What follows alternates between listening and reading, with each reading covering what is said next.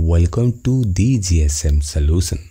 Today's video about the iPhone screen goes completely blank or blank screen of death. Customers said that more than 80% of the charge and while watching videos, iPhone automatically goes blank. They insert the charger, no response.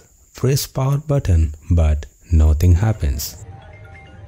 In those cases, you can still hear text sound, vibration, etc. Or in some cases, you can't hear anything like complete dead. Whatever, let's see what causes iPhone's black screen and how to fix the blank screen on the iPhone.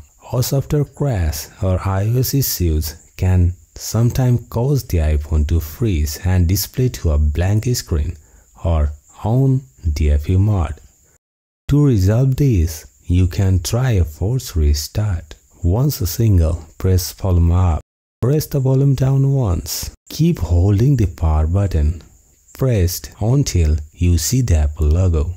Once you see the Apple logo, you can release the power key. Wait for a few seconds.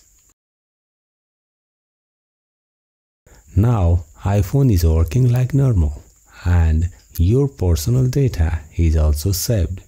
A blank screen makes your iPhone unusable until you force restart. Don't be sad if this happened to you then that is the easy fix. If you visit us first time, don't forget to subscribe and like. It's me Akash. Peace out.